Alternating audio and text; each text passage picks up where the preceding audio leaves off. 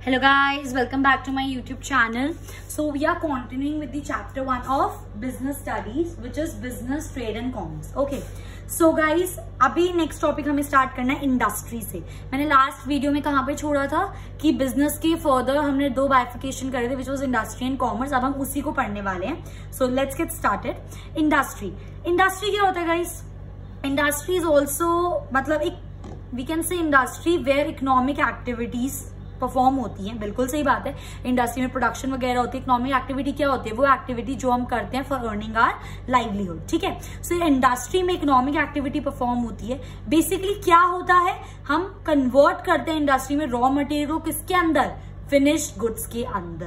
Conversion of raw material to finish goods कहाँ पर take place करता है? इंडस्ट्री में। सो दैट्स वाई इंडस्ट्री में क्या होता है? It is an economic activity which is connected with conversion of raw material into finish goods एक तो ये मतलब होता है इंडस्ट्री का।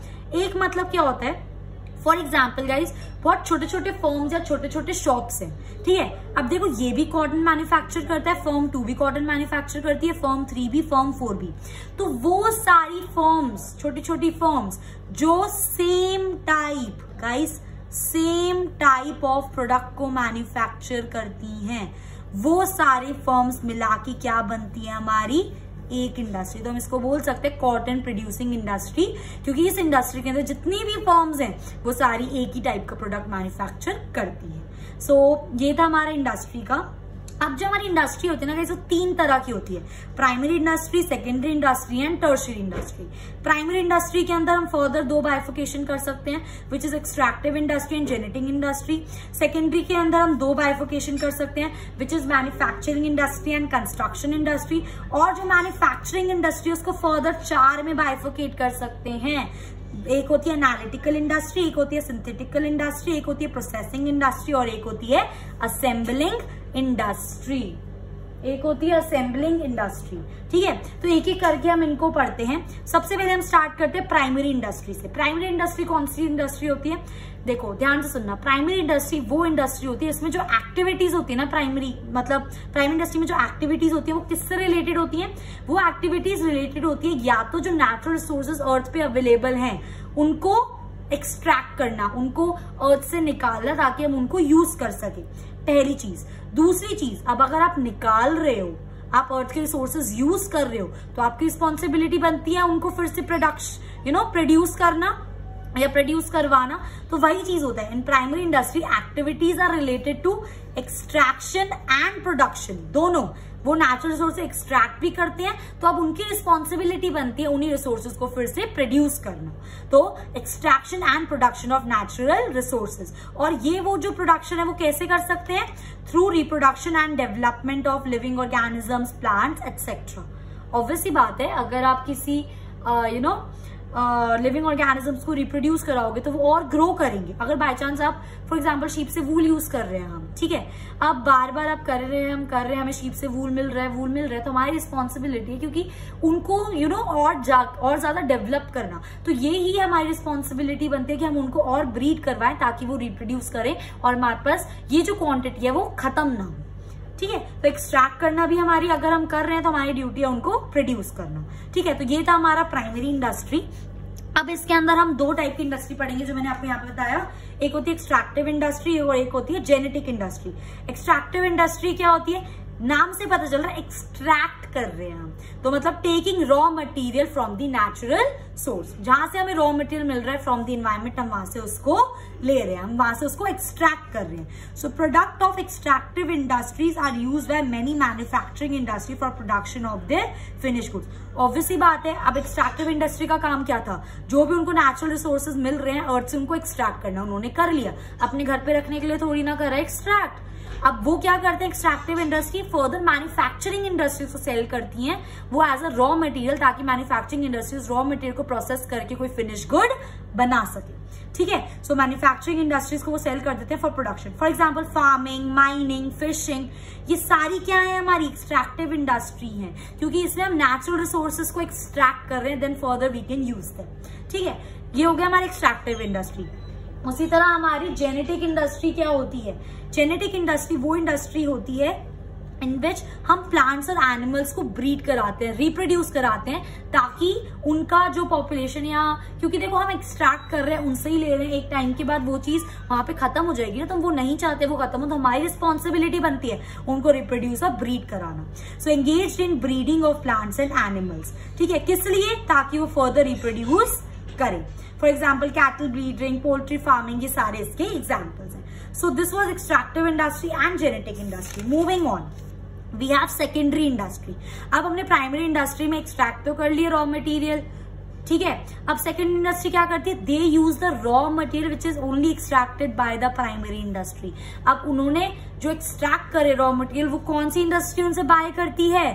सेकेंडरी इंडस्ट्री उनसे बाय करती है, ताकि वो उसको फर्दर रॉ मटेरियल जो उनको मिल जाता है एक्सट्रैक्टेड प्राइमरी इंडस्ट्री से तो उस रॉ मटेरियल कन्वर्ट करके क्या बनाती है गाइस फिनिश गुड्स बनाती है। ठीक है? फॉर एग्ज़ाम्पल अब देखो mining of an iron ore एक आयरन ओर से आप you know mining is a natural process अब नेचुरल सोर्स को हम एक्सट्रैक्ट कर रहे हैं। तो ये मेरा क्या है? प्राइमरी इंडस्ट्री है। अब मैं इस आयरन ओर को आ, किसी सेकेंडरी इंडस्ट्री ने मुझसे बाय कर लिया किसी मैन्युफैक्चरिंग इंडस्ट्री ने मुझसे ले लिया क्योंकि उसको आयरन उसको उस आयरन से क्या बनाना है? स्टील बनाना है। तो वो उस रॉ मटेरियल किसमें कन्वर्ट कर रहे हैं? फिनिश्ड गुड्स में। तो ये हमारी कौन सी इंडस्ट्री हो गई? सेकेंडरी इंडस्ट्री ठीक है? इसके बाद हमारे सेकेंडरी इंडस्ट्री के दो बाइफिकेशन थे। एक था हमारा मैन्युफैक्चरिंग इंडस्ट्री और एक था हमारा कंस्ट्रक्शन इंडस्ट्री मैन्युफैक्चरिंग इंडस्ट्री कौन सी होती है? सिंपली जो रॉ मटेरियल को कन्वर्ट करती है फिनिश गुड्स में, उनको हम क्या बोलते हैं? मैन्युफैक्चरिंग इंडस्ट्री ठीक है? मैंने आपको प्रीवियस फ्लो चार्ट में दिखाया था मैन्युफैक्चरिंग इंडस्ट्री चार टाइप्स में डिवाइडेड होती है। फ़र्स्ट है एनालिटिकल इंडस्ट्री सेकंड है सिंथेटिकल इंडस्ट्री थर्ड है प्रोसेसिंग इंडस्ट्री फोर्थ है असेंबलिंग इंडस्ट्री डरने की कोई ज़रूरत नहीं है। जो नाम है ना इट्स ही एक्सप्लेन कर रहा है कि वो किस टाइप की इंडस्ट्री है। देखो एनालिटिकल इंडस्ट्री एनालिटिकल इंडस्ट्री कौन सी इंडस्ट्री होती है? With separate different material from the same material for example सबसे बेस्ट एग्ज़ाम्पल इसका ऑयल अगर हम डायरेक्ट ऑयल अर्थ से एक्सट्रैक्ट कर रहे हैं, वो एक नेचुरल रिसोर्स है। मैंने उस ऑयल को एक्सट्रैक्ट कर लिया। मैं उसी ऑयल को अगर यू नो सेगमेंट कर दूँ सेपरेट करूँ तो मैं उसी ऑयल से काफ़ी सारी चीज़ें निकाल सकती हूँ। तो उसको बोलते हैं एनालिटिकल इंडस्ट्री जब हम एक ही मटीरियल से, एक ही चीज़ से डिफरेंट डिफरेंट मटीरियल्स को निकाल सकते हैं। उसको बोलते हैं हम एनालिटिकल इंडस्ट्री सिंथेटिकल इंडस्ट्री क्या होता है? जब हम टू दो तीन डिफरेंट इंग्रेडिएंट्स को कंबाइन करते हैं to form a new product for example cement cement क्या होता है? सीमेंट प्योर तो नहीं होता. सीमेंट में मिट्टी भी डलती है. और आई डोंट नो सीमेंट में मतलब काफ़ी सारे कंपोनेंट से बनता है सीमेंट ठीक है तो अब ये सामान एक जगह इकट्ठा नहीं होता कि आपको सीमेंट बना बनाया, हम अर्थ से हम लोगों को मिल जाता है। ऐसा नहीं होता है। हम पहले मिट्टी इकट्ठा करते हैं, थोड़ा सा उसके अंदर जो भी डलता होगा यार, तीन चार चीज़ें होती हैं, उनको मिक्स करके सीमेंट बनाया जाता है। तो वो कहाँ पे बनता है आपका? सिंथेटिकल इंडस्ट्री में जब आप तीन अलग अलग चीज़ों को जोड़ते हो और आपकी एक नई चीज़ निकल के बाहर आती है, उसको क्या बोलते हैं वो कहाँ पर होता है? सिंथेटिकल इंडस्ट्री में होता है। उसी तरह प्रोसेसिंग इंडस्ट्री प्रोसेसिंग इंडस्ट्री वो इंडस्ट्री होती है जिसके अंदर एक स्टेप में, एक स्टेप में ऐसा नहीं होता कि मैं रॉ मटेरियल को फिनिश गुड्स में कन्वर्ट कर दूँ। एक स्टेप के अंदर। प्रोसेसिंग इंडस्ट्री में ना मुझे वेरियस प्रोसेसेस को गो थ्रू करना पड़ता है। Process A process B process C process D for example process A पे मैंने कुछ रॉ मटेरियल को थोड़ा प्रोसेस करा। फिर उसके बाद अभी मेरा फाइनल गुड नहीं बना। मैंने स्टेज बी पर उसको थोड़ा और प्रोसेस करा। स्टेज सी पे उसे और थोड़ा प्रोसेस करा। डी पे जाकर मेरा फाइनल गुड बना। मतलब रॉ मटेरियल से फाइनल गुड बनने तक हमें काफ़ी स्टेजेस काफ़ी प्रोसेस को गो थ्रू करना पड़ता है। और इसका बेस्ट एग्ज़ाम्पल क्या है? शुगर चीनी। चीनी कभी भी एक ही बारी में नहीं बन जाती है। काफ़ी स्टेजेस से गो थ्रू होती है, तब जाके वो चीनी बनती है। ठीक है?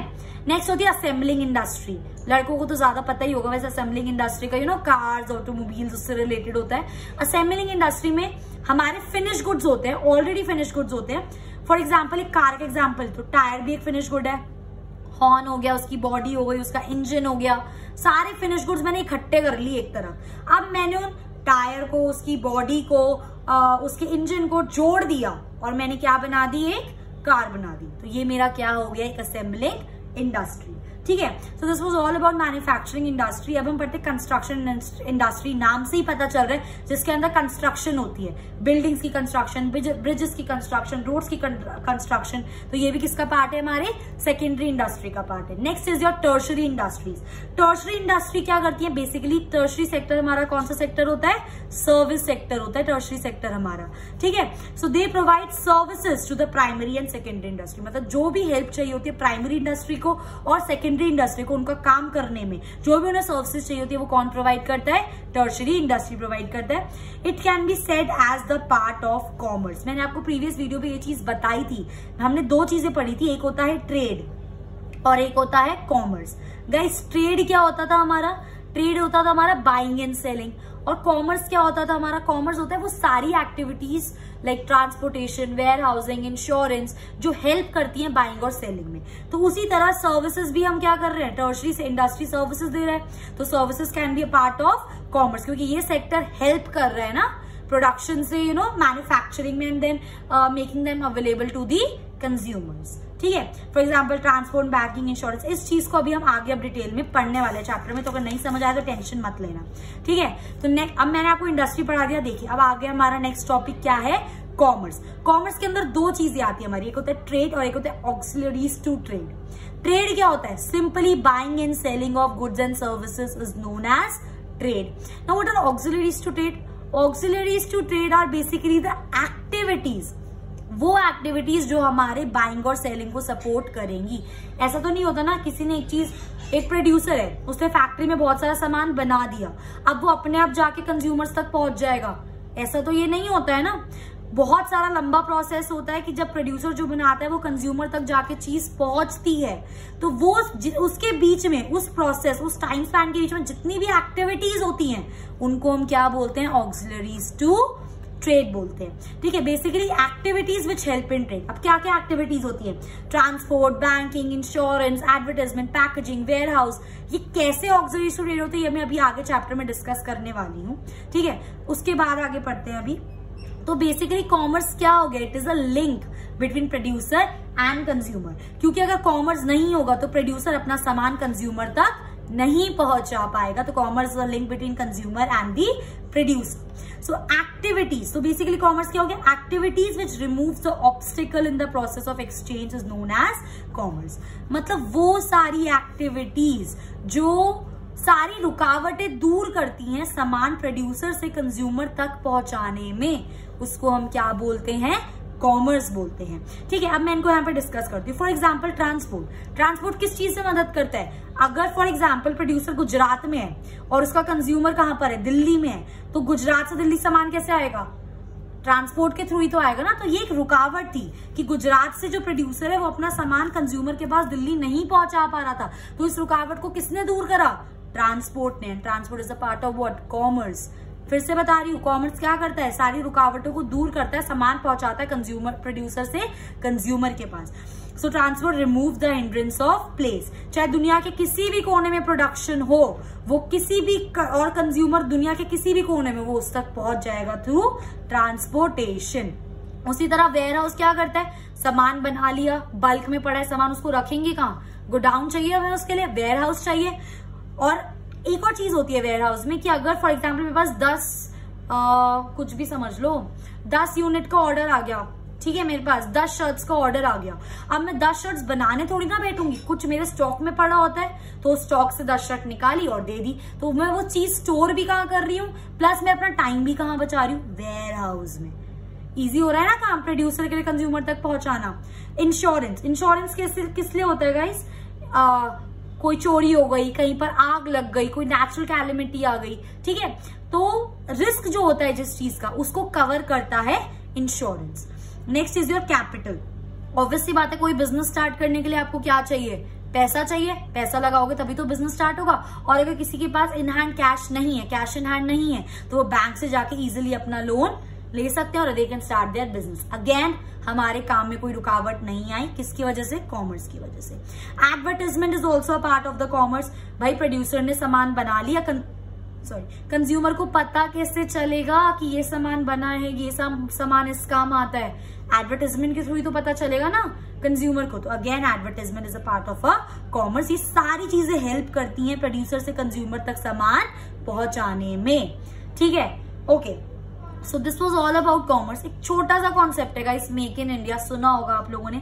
याद रखना मेक इन इंडिया गवर्नमेंट ने कब लॉन्च करी थी? 25 सितंबर में. वैसे आजकल तो ये बहुत ज़्यादा हो रहा है कोरोना वायरस के चक्कर में. हम लोगों ने बॉयकआउट कर दिया चाइनीज़ चीज़ों को. तो मोदी जी ने क्या बोला था? कि आत्मनिर्भर भारत बनाना है. दैट मीन्स वॉट कि हमें अपने भारत में चीज़ें खुद बनानी और उनको यूज़ करना है. लोकल को वोकल करना है. तो ये चीज़ अभी की नहीं है. ये चीज़ ना 25 25 सितंबर 2014 में पहले ही आ चुकी थी। वो तो अब कोरोना की वायरस की वजह से अब ये ज़्यादा और अच्छे से हो रहा है इम्प्लीमेंट ठीक है? वरना मोदी जी ने पहले ही बोल दिया था, भाई मेक इन इंडिया को प्रमोट करो, जो इंडिया की चीज़ें हैं, उनको यूज़ करो। ठीक है? So it was launch by government twenty fifth सितंबर 2014 किस लिए लॉन्च हुई थी? To make products in India ठीक है? और इससे दो फ़ायदे होंगे हमारे देश को। एक तो लोगों के लिए जॉब्स बढ़ेंगी काम मिलेगा लोगों को और दूसरी बात, उनकी स्किल्स और ट्रेनिंग बेटर होंगी। ठीक है? तो ये छोटा सा कॉन्सेप्ट था हमारा मेक इन इंडिया का। अब आ जाओ आगे। नेक्स्ट इज़ आर ट्रेड ठीक है? ऑल दो पढ़ चुके हैं थोड़ा थोड़ा पर और डिटेल में पढ़ लेते हैं। ट्रेड क्या होता है? Exchange of goods and services producer से कॉमर्स तक, उसको हम कॉमर्स बोल रही यार। प्रोड्यूसर से कंज्यूमर तक, उसको क्या बोलते हैं हम? ट्रेड तीन तरह के ट्रेड होते हैं। एक होता है इम्पोर्ट एक होता है एक्सपोर्ट एक होता है एंटरपोर्ट ठीक है? इंपोर्ट का मतलब क्या होता है? जब हम किसी और कंट्री से अपनी कंट्री में सामान मंगा रहे हैं, उसको क्या बोलते हैं हम? इम्पोर्ट जब हम अपनी कंट्री से किसी और कंट्री में सामान बाहर बेच रहे हैं, उसको क्या बोलते हैं हम? एक्सपोर्ट और जब हम, इस वाली चीज़ को ध्यान से सुनना, मैंने किसी और कंट्री से सामान मंगाया और अपनी इंडिया में यूज़ नहीं करा उसको, मंगाकर दूसरी कंट्री में बेच दिया। समझ रहे हो? पहले मैंने इम्पोर्ट कर दिया और फिर मैंने उसको एक्सपोर्ट कर दिया। तो उसको बोलते हैं एंटरपोर्ट किसी और कंट्री से मंगाया, अपनी कंट्री में यूज़ नहीं करा, फिर उसको यहाँ से किसी और कंट्री में बेच दिया। उसको बोलते हैं एंटरपोर्ट ठीक है, तीन तरह के हमारे ट्रेड हो गए। Next auxiliaries to trade all मैं यहाँ पे बता चुकी हूँ ट्रेड उस ऑक्सिलरीज टू ट्रेड उसका ही थोड़ा हम आगे पढ़ रहे हैं।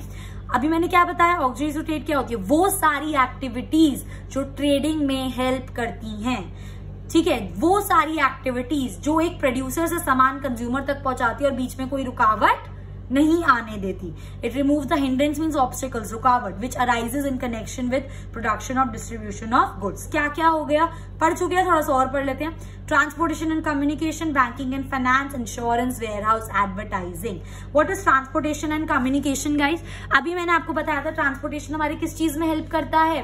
कि अगर मेरे इधर इस दुनिया के इस कोने में कोई चीज़ प्रोड्यूस हो रही है। फॉर एग्ज़ाम्पल इंडिया के नॉर्थ में हो रही है। और मुझे उसके इंडिया के साउथ में पहुंचाना है। कन्याकुमारी तक पहुंचाना है। हिमालय से कन्याकुमारी। कैसे पहुंचाऊँगी मैं? ट्रांसपोर्टेशन के थ्रू ही तो पहुंचाऊँगी। तो ये एक बहुत बड़ी दिक्कत थी। अगर ट्रांसपोर्टेशन नहीं होता तो जो हिमालय में सामान बना रहा है वो कन्याकुमारी तक पहुंचाएगा कैसे? समझ रहे हो क्या बोलने की कोशिश कर रही हूँ? सो so, प्रोड्यूस और कभी भी ऐसा नहीं होता कि जो जो सामान जहाँ पे बन रहा है वो सामान वहीं बिकेगा। ऐसा नहीं होता है। ठीक है? अलग अलग जगह पे चीज़ें प्रोड्यूस होती हैं। अलग अलग कंज्यूमर्स को सेल करने के लिए। सो so, सामान एक जगह प्रोड्यूस होता है कंज्यूम एक जगह होता है। तो उस उस गैप को कौन कवर करता है हमारा? ट्रांसपोर्ट कवर करता है। At the same time communication is also important communication telephone telegrams emails faxes ये किस चीज़ में हेल्प करते हैं? They they help in communication और प्रोड्यूसर की बात कंज्यूमर से एकदम से हो जाती है। फ़ोन घुमाया काम खत्म। ट्रेडर की बात हो जाती है भाई सामान लेके नहीं आया तू? है ना? ट्रेडर कौन होता है? जो एक एक जगह से दूसरी जगह पे सामान डिलीवर करता है। ठीक है? तो एक एक सेकंड में हम बात कर सकते हैं। तो ये भी हमारी जो दिक्कत है वो दूर हो गई। किसकी वजह से? ऑक्सिलरीज टू ट्रेड की वजह से। नेक्स्ट हो गया बैंकिंग एंड फाइनेंस अब एक बात खुद सोचो। बिज़नेस स्टार्ट करना है। पैसा चाहिए। ऐसे बहुत सारे लोग होते हैं जिनके पास बिज़नेस स्टार्ट करने के लिए पैसा नहीं होता। तो पैसा कहाँ से आता है? सबसे बेस्ट भी होता है बैंक से लोन लेना। तो ये भी एक मेजर प्रॉब्लम है जो किसने सॉल्व कर दी? ऑक्सिलरी ट्रेड ने। Business can be done unless funds are there जब तक फंड्स नहीं होंगे बिज़नेस कहाँ से करोगे? So they can get funds from the bank at the same time एक बहुत इंपॉर्टेंट पॉइंट है। They banking and finance helps in collection of money by exporters from importers फिर से पढ़ रही हूँ। बैंकिंग की वजह से हम मनी कलेक्ट कर सकते हैं। किससे? Money helps in collection of money by exporters from importers मतलब अगर मैंने अपना कोई सामान यहाँ से बाहर बेचा, किसी और कंट्री में सेल करा, अब मैं यहाँ से उससे पैसे थोड़ी ना लेने जाऊँगी? या वो उस कंट्री से मेरे को पैसे देने आने वाला है? ऐसा कुछ नहीं होता, ठीक है? तो बैंक के थ्रू ये भी चीज़ हमारी आसान हो गई। यहाँ से बैठे बैठे पैसा ट्रांसफ़र कर दो, अगर लेना है तो वहाँ से बैठे बैठे पैसा ले लो। ठीक है? So this is banking and finance next आता है आपका इंश्योरेंस इंश्योरेंस इज़ वॉट किस लिए कराते हैं मम्मी पापा? हेल्थ इंश्योरेंस होता है, गाड़ी का इंश्योरेंस होता है शॉप का इंश्योरेंस होता है, घर का इंश्योरेंस होता है। किस लिए होता है? रिस्क को कवर करने के लिए होता है कि भाई कल को अगर कुछ हो गया, मान लो आग लग गई, चोरी हो गई तूफ़ान आ गया, कुछ हो गया तो जो भी नुकसान होगा वो सारा कौन भरेगी? इंश्योरेंस कंपनी भरेगी। तो ये भी दिक्कत हमारी सॉल्व होगी तो they provide protection against the risk और इंश्योरेंस कैसे होता है? याद रखना छोटे छोटे हर महीने हमें क्या देने पड़ते हैं? इंस्टॉलमेंट्स देने पड़ते हैं। और बाय चांस हमारा कोई लॉस हो जाता है तो जितनी भी उस लॉस की वैल्यू होती है, वो सारी कौन रीपे करता है? इंश्योरेंस कंपनी रीपे करती है। तो हमारा वहाँ पे जो लॉस है, वो कॉम्पनसेट हो जाता है। लास्ट दो थिंग है इसके अंदर हमारी which is warehousing and advertising में बता चुकी हूँ। पहली चीज़ वेयर हाउसिंग ना दो चीज़ों में हेल्प करता है। एक तो स्टोरेज में हेल्प करता है, दूसरी चीज़ टाइम में हेल्प करता है। ऐसा तो नहीं होता ना कि मेरे को किसी ने आके बोला, भैया, दस शर्ट दे दो। तो मैं बोलती हूँ, भैया, आप रुको, मैं दस शर्ट बना के लाती हूँ, फिर मैं आपको देती हूँ। ऐसा तो नहीं होता ना। जो प्रोड्यूसर होता है, वो पहले से अपने स्टॉक में पचास से सौ शर्ट बना के रखता है कि कल, अगर कल को हमारे पास कोई ऑर्डर आता है तो हैंड टू हैंड अपने स्टॉक से निकाला, दे दिया। पर भैया, जो आपने वो दस शर्ट बनाई है, उनको रखोगे कहा? अपने घर में रखोगे? उसके लिए हमें किसकी ज़रूरत पड़ती है? वेयर हाउस गोडाउन की ज़रूरत पड़ती है हम लोगों को। तो वेयर हाउस ने हमारी वो स्टोरेज की प्रॉब्लम भी क्या कर दी? सॉर्ट कर दिया. एट द सेम टाइम उसने टाइम भी तो बचा लिया. उन दस शर्ट्स को बनाने में टाइम लगता. वो भी बच गया हम लोगों का. So goods are not sold immediately after production ऐसा नहीं होता. प्रोड्यूस करे और बिक गए goods they need to be stored S T O short लिख दिया मैंने. ठीक है? They need to be store so they overcome the problem so basically warehouse overcome the problem of storage and time again advertising advertising is very important अपने you know goods को promote करने के लिए. एडवर्टाइजिंग इज़ वेरी इंपॉर्टेंट वरना consumers को पता किस चलेगा कि प्रोड्यूसर क्या प्रोड्यूस कर रहा है? समझ रहे हो? तो जब कंज्यूमर को पता चलेगा कि हाँ ये क्या प्रोड्यूस हो रहा है तो उस चीज़ को फिर वो आगे सेल यू नो कंज्यूमर्स को पता चलता है अवेयरनेस क्रिएट होती है तो वो उस चीज़ को बाय करते हैं. So this was all about auxiliaries to trade. Thank you guys for watching my video. I'll be continuing this in the next lecture so if you like my video please do like share and subscribe. Thank you